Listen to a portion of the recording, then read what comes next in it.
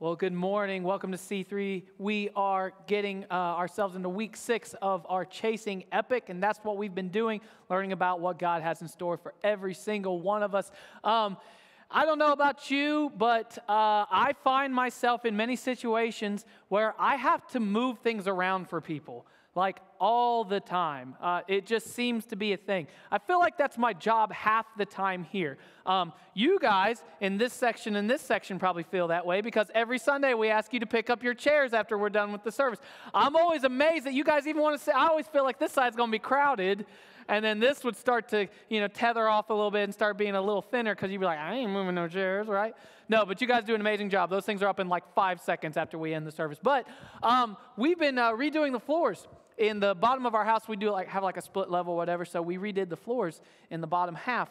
Well, um, in order for people to come and do that, you have to get things off the ground in order for them to put uh, new flooring on, right? So this whole week has consisted of moving things. That's all I've done. I've had to move uh, the, this couch and this chair. And I mean, not just me, but I've made my family help me, right? The free labor, the three boys that I have that live with me. So make them pick up stuff and move things, right? And move things. You basically go, move all this stuff into that room, and then they fix that floor. Then you move all that stuff that you just got out of that room, you bring it to back to that room, and you also got to move all that stuff from that room into that room so you can put down the floor in there. Then after you get that one done, everything has to move over to that side so then you can get the other room and the hallway and all, and, and then you get to put it all back, right? So I feel like all I've done is lift things, heavy things, awkward things, a whole bunch of stuff, and I had to move it around. I feel like a lot of times we have to move chairs here at church. I do it a lot. We have a group that meets. Uh, one of our small groups is uh, my basketball group. A bunch of us get together. We get to play basketball, and it is an awesome time. But we have to move these chairs in order to play. So we have to pick these chairs up. Uh, luckily for me, you guys give me a shortcut and put them up for me on Sundays, and then but I have to put them back. So we put them back. That's the worst part. We have a blast. We play ball. We have fun, and then we all get to the end. We're like, "Whoo, that was fun. I'm worn out." And I'm like, "Yeah, hold on. We got to put these chairs back before you guys can leave." It's literally the worst part of the night. But we're always moving things. I feel like I'm always carrying things. I'm always moving things around. But that's part of it, right? That's part of the gig. Uh, this story that we're actually going to look into this morning is about that exact same thing. There was a guy who was paralyzed and he wanted to get in front of Jesus, and his friends wanted to get him in front of Jesus. But he had been paralyzed most of his life, so they, they carried him around. He had been paralyzed since birth, so he had always been carried. When he got full grown, then in order to get around, someone had to help him. So his four friends had a mat that he would lay on and they would pick it up from all four corners and they would take him all around to be able to move him when they could. And I don't know about you, but um, my, my oldest kid, I've tried to lift him now at 13 years old and it's getting I, I, don't, it's not good, right? So if, just thinking about trying to pick up a full grown man all the time and carry him around, it's a tough situation. But that's exactly what we find in this story. And as we've been talking over the past couple weeks, we've been mentioning about our up, in, and out and the whole point. And, so we learned uh, last, uh, last couple weeks, here's what we learned about our up.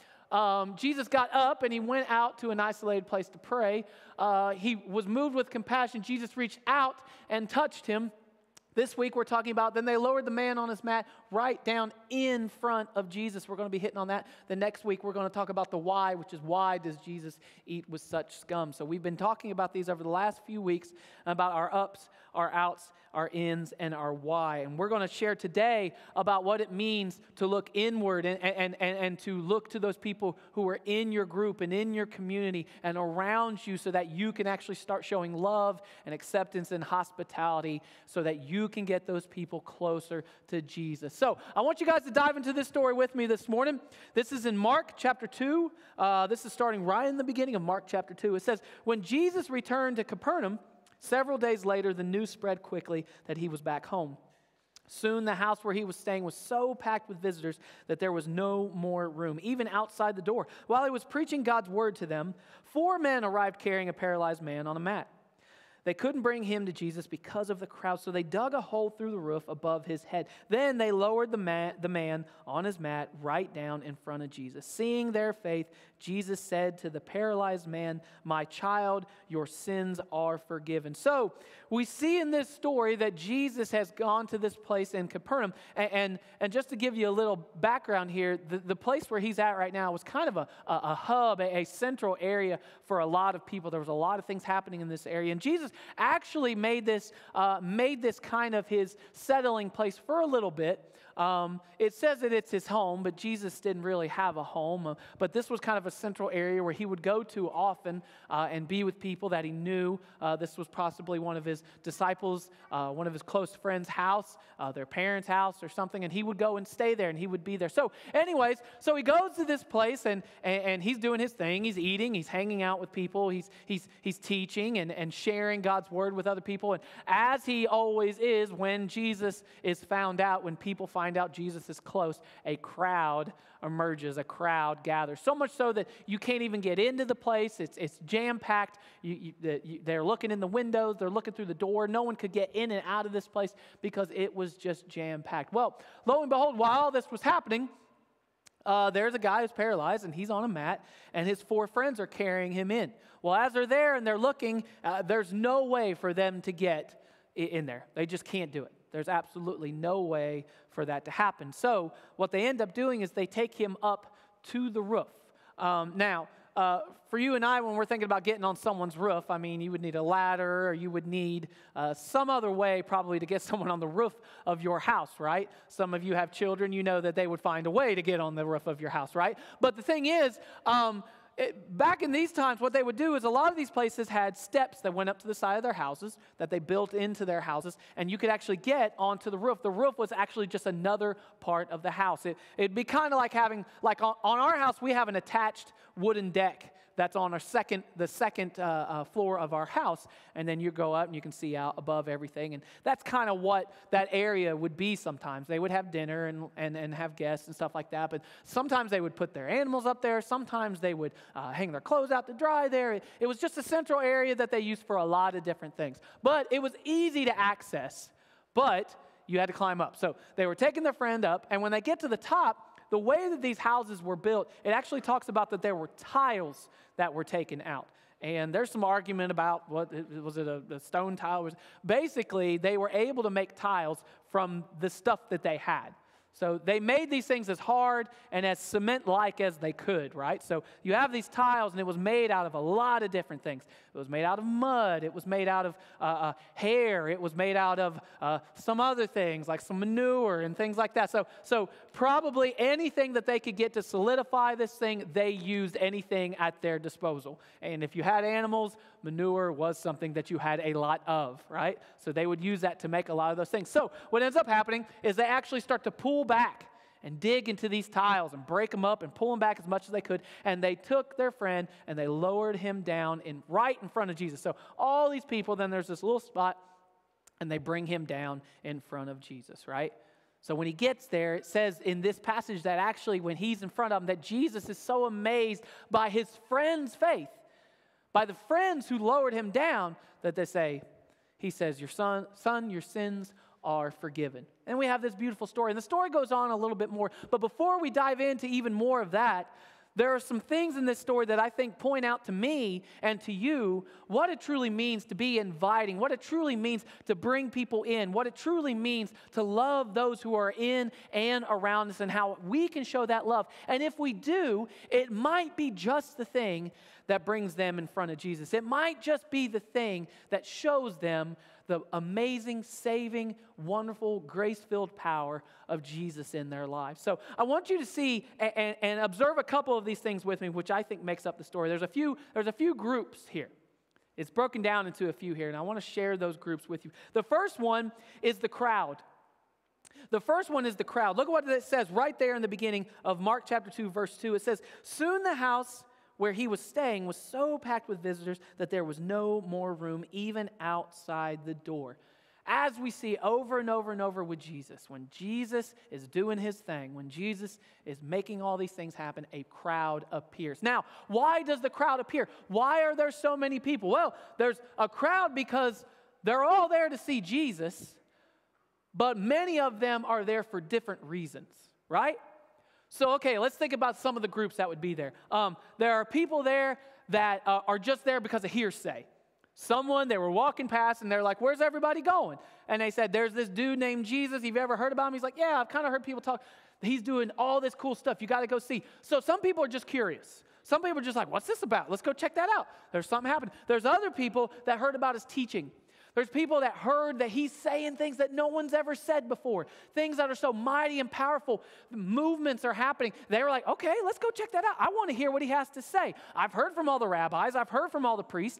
I want to hear what this new rabbi has to teach. Maybe I'll learn something I've never heard before. So they're, they're excited about his preaching. There are other people who are coming because they heard about his miracles. They heard about the amazing things that he's already done and the things that he's done for other people. And some of them are just there because they want to see the show.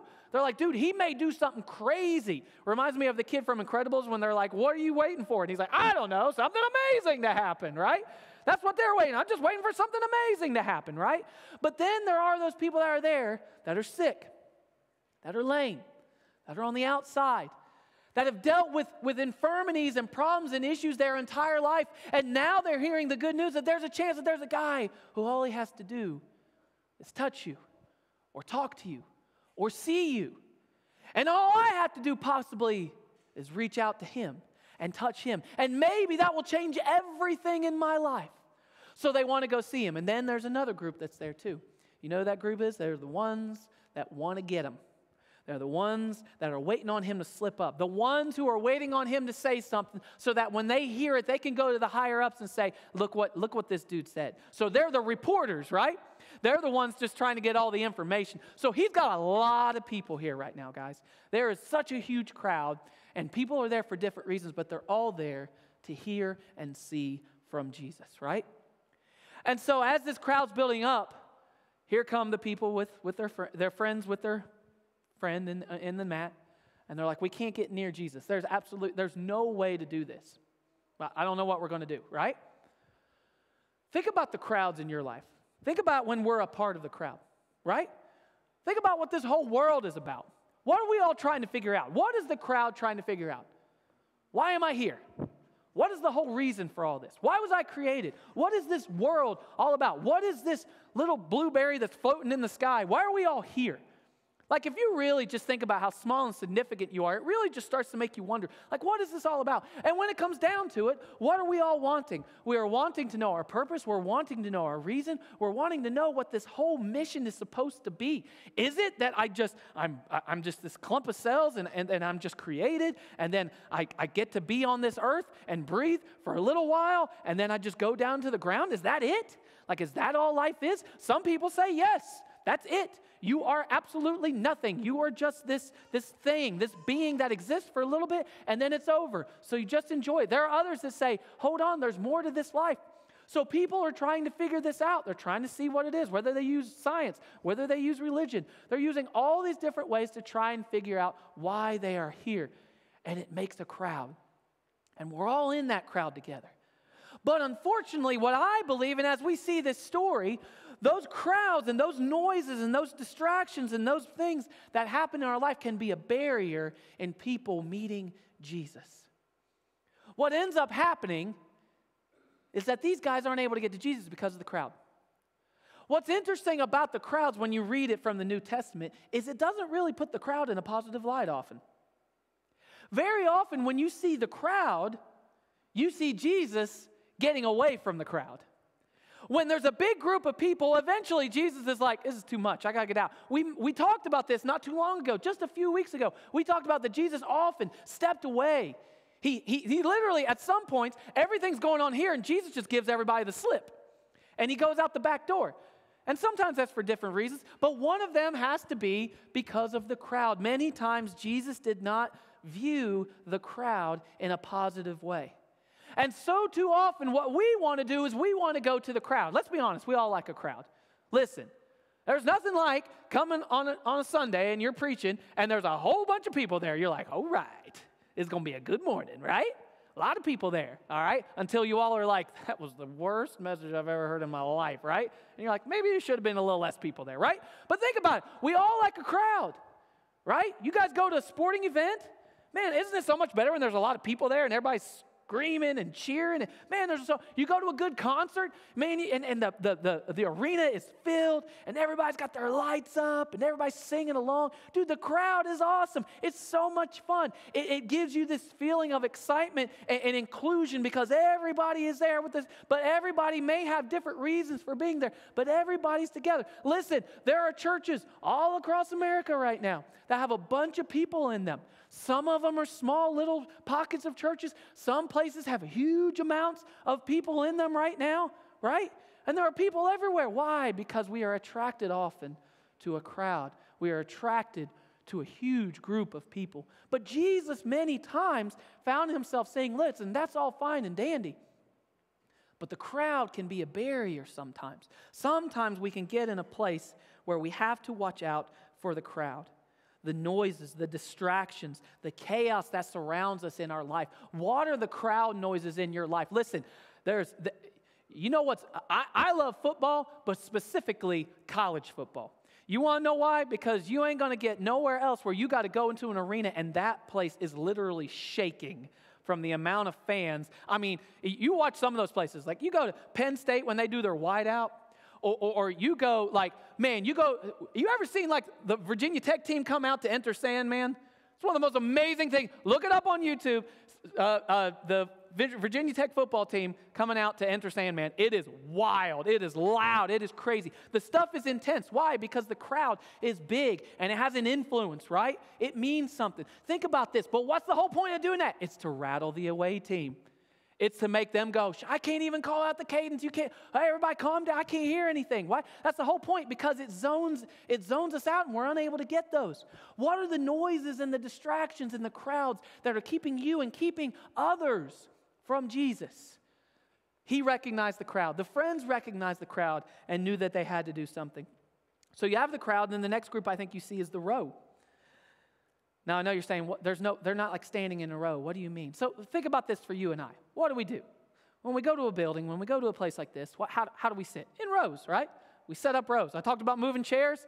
The worst thing we have to do is make sure, okay, how many chairs is in this row? Is this angled correctly? Okay, it's seven of seven, and do we have enough there? And, and you just got to calculate and make sure you have it all right. Right. Why? Because you want the rows to look nice. Everybody sits in a row, right?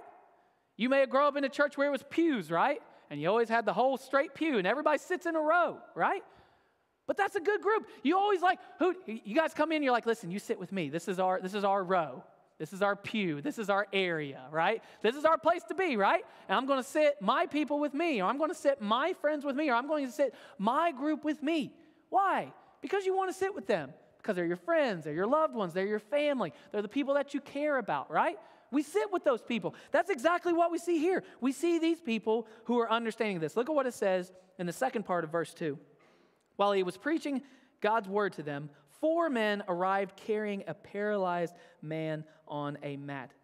Right here, away from the crowd, we have this paralyzed man who has a group of friends who carried him to Jesus. He had a group, he had a crew of people. I want you to know how important it is that we understand that we have those people in our life, that we are understanding what that means. Listen, this is a cool thing that we get to do.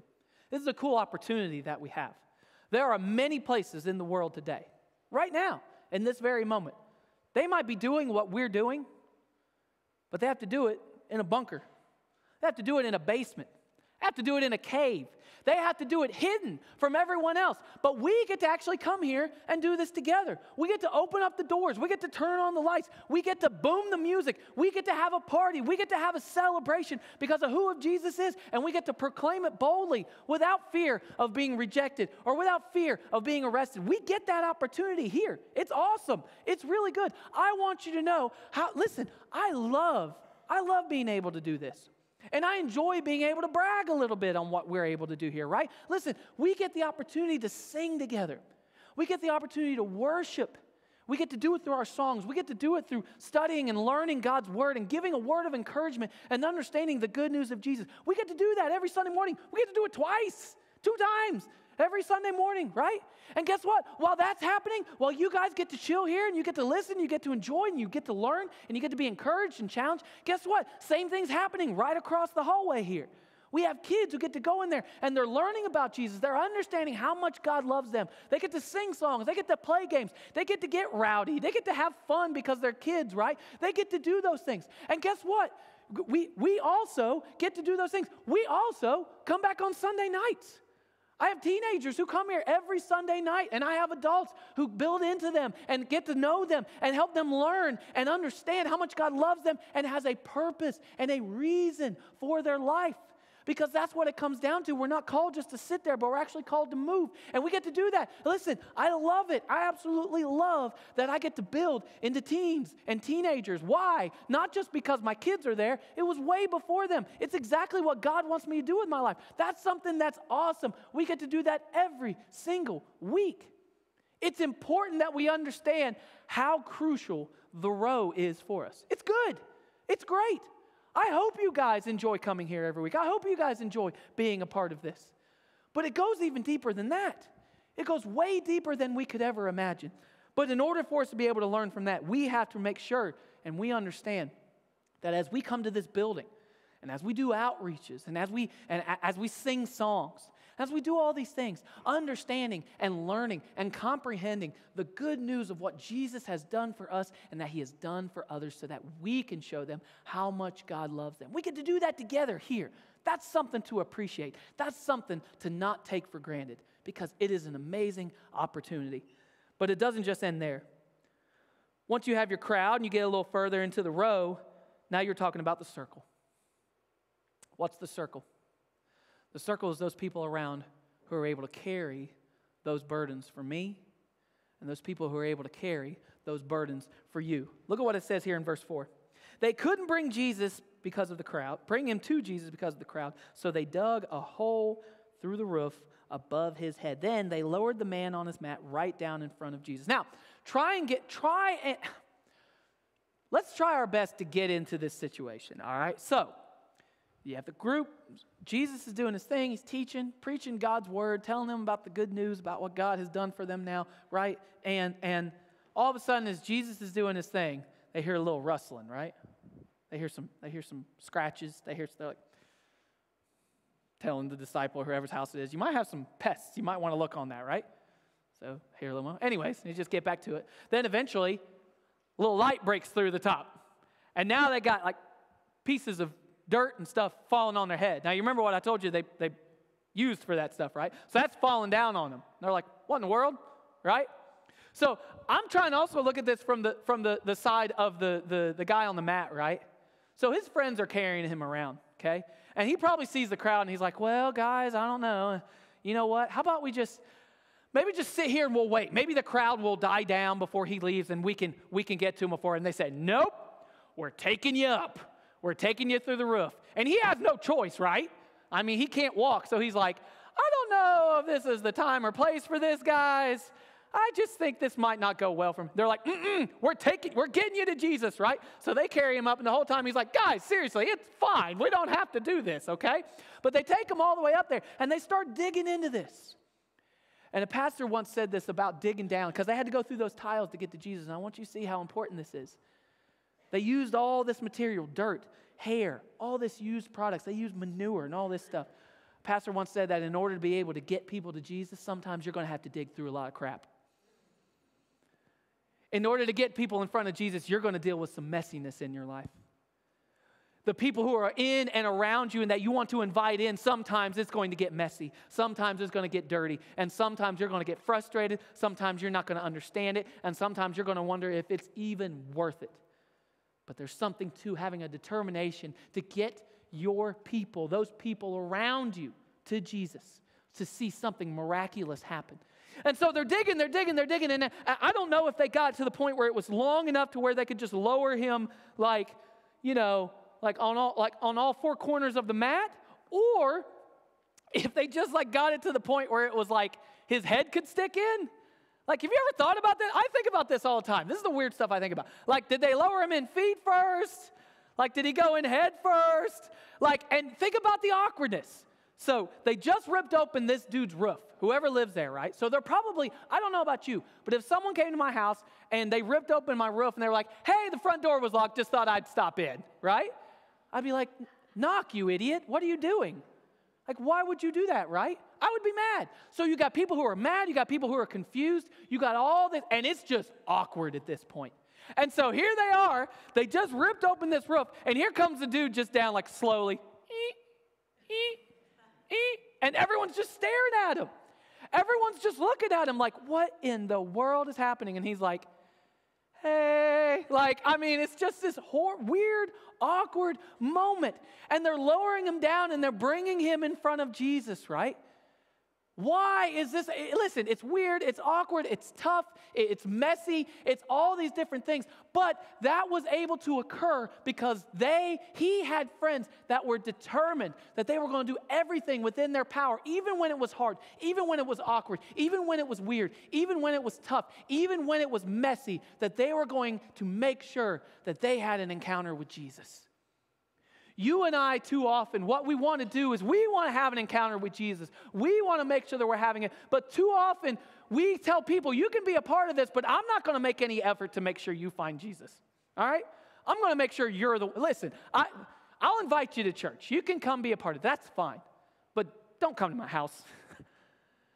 don't sit at my table. All right? Please just leave it to you. Like, that's what we want to do. That's how we treat most people. Unless we let them in, that's where we want to leave people.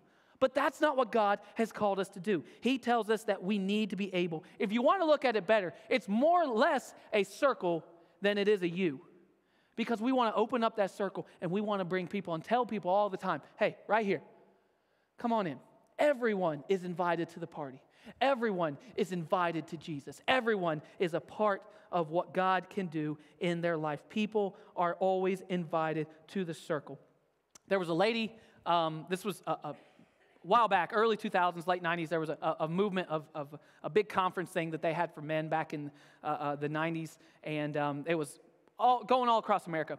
And uh, there was this, um, th- someone sent, sent this video of this guy telling this in a podcast to me, and so I just thought I'd share. And the lady, um, just a seething review of this thing. She was not a Christian. She thought Christianity was bigoted, closed minded. She didn't want anything to do with it. So much so that she wrote this big article about it and put it out in the paper, basically saying, You do not want this in our town. These people should not be here, all this stuff, right? So she got mail back. Um, she got people saying, I agree, I think that's great, I think you're right, religion should stay out, you know, all this stuff. And you have other people, and they said, She got some hate mail. And some of them being people who were Christians, who were telling her she was going to hell, and you're, you and I can't believe you would say that, and you have no, you know, all this stuff, right?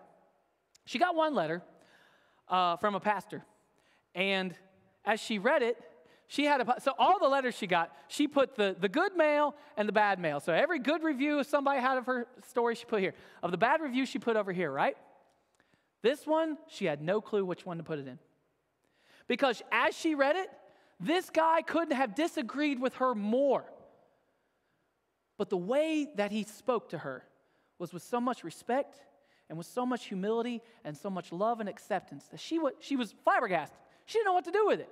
So she leaves it on her desk a couple weeks. Then she just kept going back to it in her head. So she decided, you know what? Had the contact information, I'm going to call him. So calls, says, hey, I'd like to do an interview with you.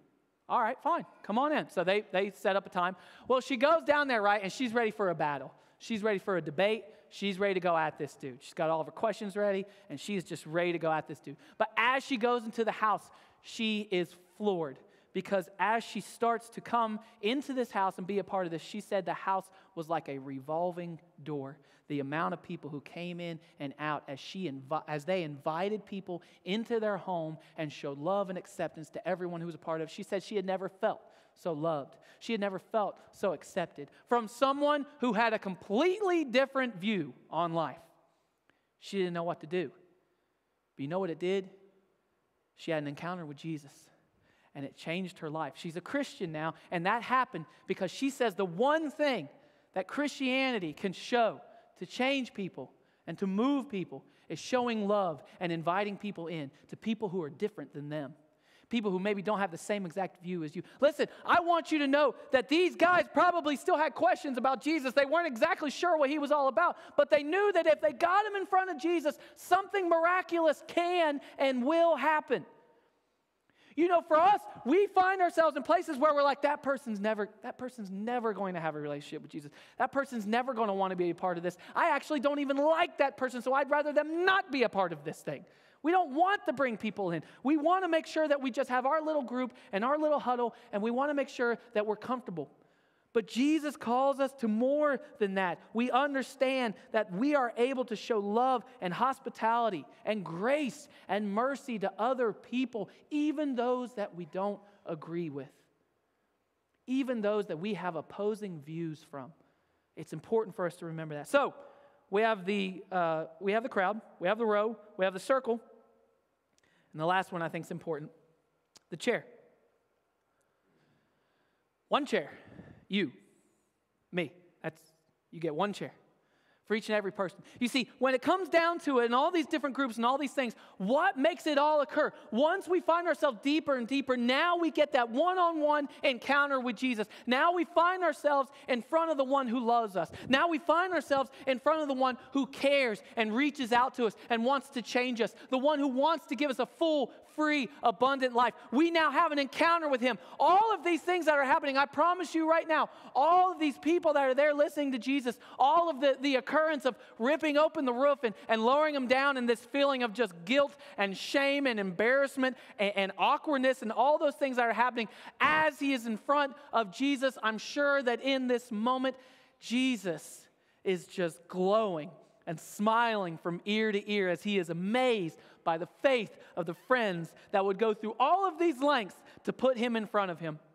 And it says that as Jesus is amazed and that he is uh, uh, just flabbergasted by this, in verse 5 it says, seeing their faith, Jesus said to the paralyzed man, My child, your sins are forgiven. Through the help and determination of his friends, this guy who thought he was just coming for a healing, who was just hoping that maybe this guy would help him out a little bit, he was able to see for the first time his greatest need.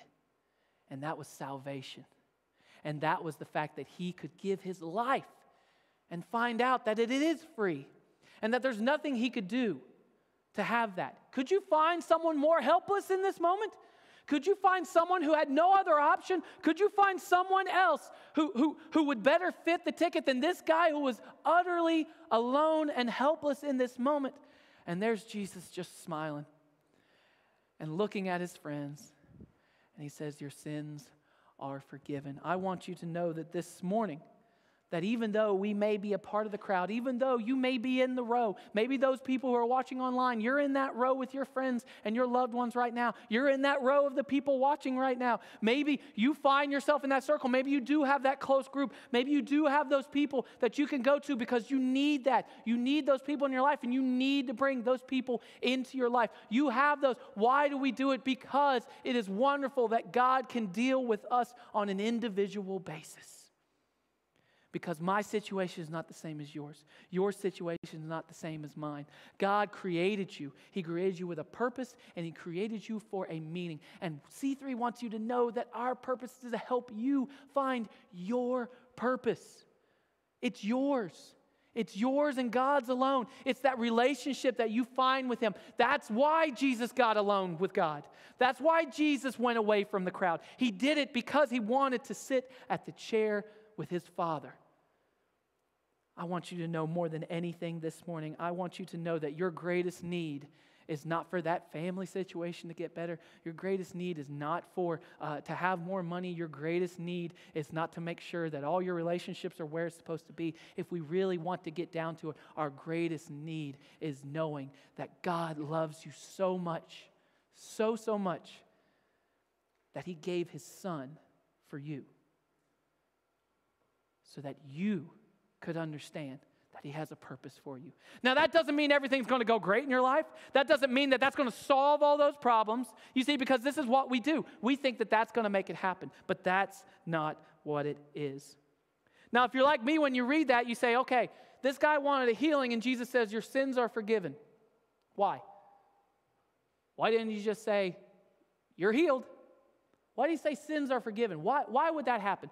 Look at what here happens in the story. Verse 6. But some of the teachers of the religious law who were sitting there thought of themselves, What is he saying? This is blasphemy. Only God can forgive sins. There's the dudes who are trying to get him. Those were the dudes, they just think, You're, you're got. We got you. That's who we want. You said what we need you to say. Look at this. Jesus knew immediately what they were thinking. So he asked them, Why do you question this in your hearts? Is it easier to say to the paralyzed man, your sins are forgiven, or stand up, pick up your mat, and walk. So I will prove to you that the Son of Man has the authority on earth to forgive sins. Then Jesus turned to the paralyzed man and said, Stand up, pick up your mat, and go home. And the man jumped up, grabbed his mat, and walked out through the stunned onlookers. They were all amazed and praised God, exclaiming, We have never seen anything like this before. Interestingly enough, this paralyzed man nor his friends knew what the outcome was going to be. They didn't even know if anything was going to happen, but they were determined to get him in front of Jesus. And when they got him in front of Jesus, he realized his greatest need, and that was the forgiveness that only God can provide. And so what happens? They get they're like, "Ooh, he just said forgive sins. Only God can forgive sins. He's calling himself God. Blasphemy. Boom, got him. We're going to get this dude, right?" And Jesus hears him. And he says, a question Which is easier? What's easier? Your sins are forgiven or rise up, take your mat? Which one's easier? And so, my question to you guys which is easier? For a miracle to occur and someone who was sick is no longer sick, for someone who was blind and now they can see, for someone who was lame and now they can walk, which is easier?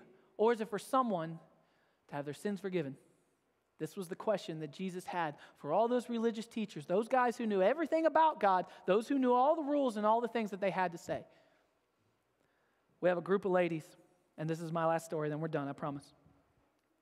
We have a group of ladies who meets every Tuesday with some, some people who are in need, and, and, and they sit down and they talk and they eat, they share with each other, right? And as they were talking this week, I, I was laughing. The, they, they would tell you the story way better than I would, okay? But they're talking with them, and, and it got into a theological. I don't know if you've ever ran into this. You're just trying to be nice and share Jesus. Jesus loves you. And then they say, Well, what about transubstantiation? You're like, Whoa, whoa, whoa, whoa, hold on. Well, I don't even know how to spell that word, right? It's like, why are you using all these funny words, right?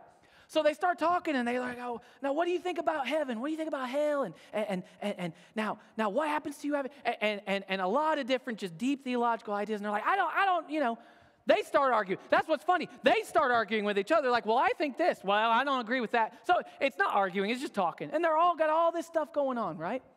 Well, all this is happening. You're thinking to yourself, man, uh, are we just spinning our rims? Are we just wasting our time? What's the whole point of all this? What's the reason for this happening? Well, one of the ladies that comes to it started talking to one of our other girls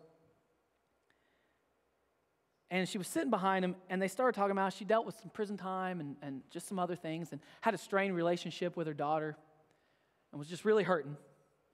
Didn't know how she was going to be able to deal with this, right? And she said, I just feel so much shame and guilt for how I've lived my life, and how I've ruined my life, and I've ruined my kid's life, and I just don't know if I can ever forgive myself and quit feeling the guilt that I feel. My daughters say they can forgive me, but I don't know how or why they would. She asked her, Would you forgive your kids? Would you forgive those people? And how much do you love your kids?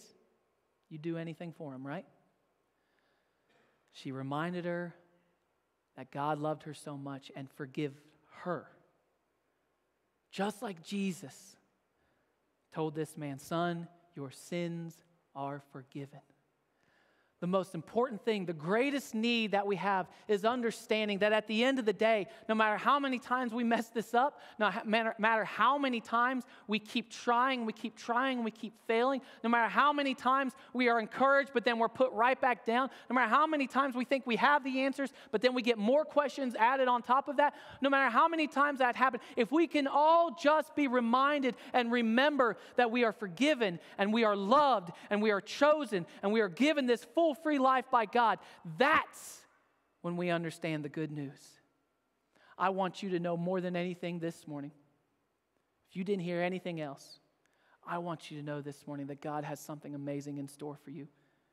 And in order to have that, all you have to do is trust Him. All you have to do is give your life to Him. All you have to do is speak to Him. The Bible says that those who call upon God will be saved. And if we just repent, if we just change our mind, if we stop thinking this way about God and we start looking at God the way that Jesus wants us to look at God, then we can see a change. And when it starts from that chair, guess what happens? It grows to your goes to your, your row, goes to your circle, it goes to your, your crowd, and you start to see an amazing change. So this morning as I close, would you guys just bow your heads really quick and we're gonna call it quits. I appreciate you guys listening. I want you to know that there's anyone here who needs that good news, who needs to know. Listen, leave. The, I want you to leave this place knowing the good news of Jesus. I don't care where you're at, if you're having a problem forgiving yourself, if you're having a problem with relationships or, or, or, strife or, or sickness in your life, whatever it is, I want you to know that you can have an encounter with Jesus. All you have to do is call on him. If you need to speak to him, you can do it right now. If you're watching online and need to speak to him, you can do it right now. All you have to do is talk to him. You can say, God, I know that I don't do this thing right. I know that I'm not perfect, but I know that you gave your son Jesus so that I could have a way to be with you. I'm sorry for the things I've done wrong. Thank you for dying for me. Thank you for sending your son, Jesus, to die for me. I want to live my life for you. This morning, the rest of us who know Jesus and are still figuring this thing out together, I want you to know this morning your challenge is simple share a meal with someone, be with someone in your life, and present them and show them to Jesus. Pray for them, encourage them you're like, that's not me, I got an easy A for you. Come back tonight, 5:30. We share a meal together every Sunday night. We would love for you to be here. Bring your family. Father, we do thank you for this time. We thank you for reminding us, God, that with, with good friends, we're, we're able to find ourselves in a place. God, I pray for those who are searching for friends. I pray for those who are in need of friends, God, that we would be open and inviting. I pray that we would understand what that means to invite others. Because, God, you have something in store for so many of us. We just have to be able to present ourselves to you so that we can present you to others. We love you so much this morning. We ask all these things in Jesus' name. Amen. Guys, we hope you have an amazing, amazing week. Middle and my left row, would you please help me? And we're going to stack up some chairs for tonight. 5:30 hangout tonight. We hope you guys can come back. Have a great week. God bless.